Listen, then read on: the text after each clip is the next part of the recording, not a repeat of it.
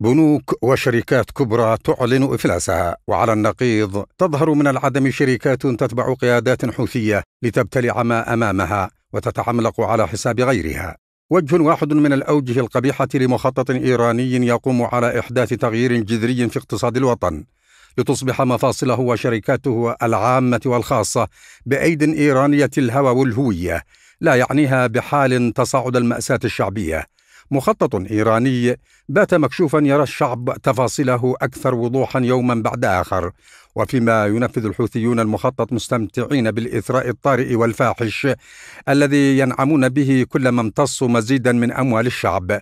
ترتفع تحذيرات كثيرين. من واقع يتجاوز ما آلت إليه العراق من يد إيران. إن لم يتحرك الجميع لاستنقاذ اليمن وإنقاذ المنطقة الآن.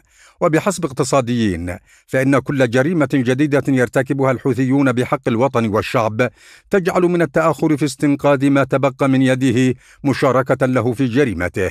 الجريمة التي لا يبدو أن لها حدا تنتهي إليه أو تتوقف عنده.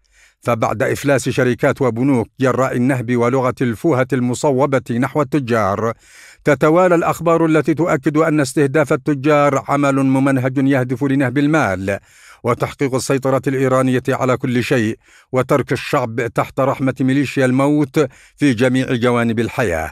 ولعل من أحدث الجرائم الحوثية في هذا السياق ما أشارت إليه مجموعة هائل السعيد أنعم عن إيقاف العمل في مصنعها لتكرير السكر بمدينة الحديدة جراء اعتداءات ميليشيا الحوثي.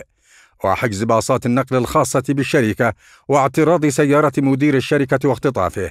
وهي جريمة كسابقاتها من جرائم الحوثيين ستلقي بظلالها السوداء على حياة ملايين. فكل اعتداء على مستثمر يدفع الشعب ثمنه المر.